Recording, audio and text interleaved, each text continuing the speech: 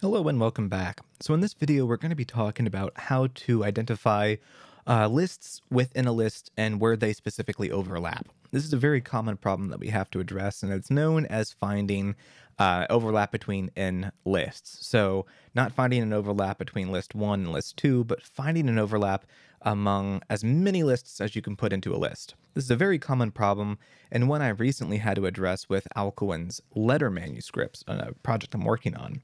So in this video, we're going to be working with that same data set. I'm going to copy and paste it right now.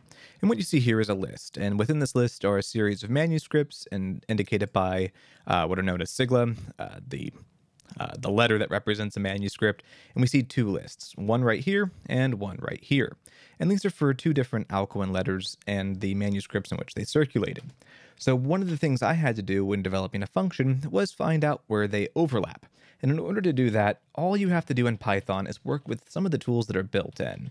There's a couple different ways to do it, and this one we're going to be using uh, specifically intersection and map.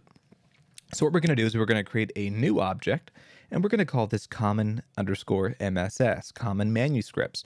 We're going to say list set dot in intersection and within that, we're going to pass in uh, uh, asterisk map set comma manuscripts found. And what that is going to do is it's going to go through and find where these two lists intersect. And what's really cool about this is we don't have to have just two.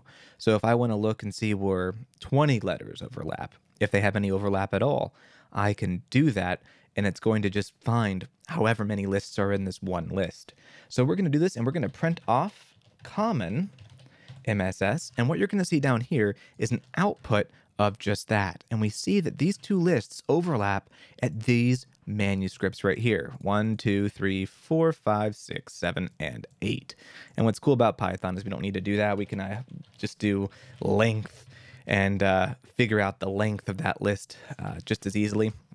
And it tells me that uh, these two letters overlap in eight manuscripts. So that's how you quickly find overlap between an n number of lists. And I personally found this on GeeksforGeeks. Uh, dot, uh, .org. I'll put a link in the description below. Uh, but this is a common problem you're going to have in any DH project when you're developing functions, and it's a very easy problem to solve. So thank you for listening.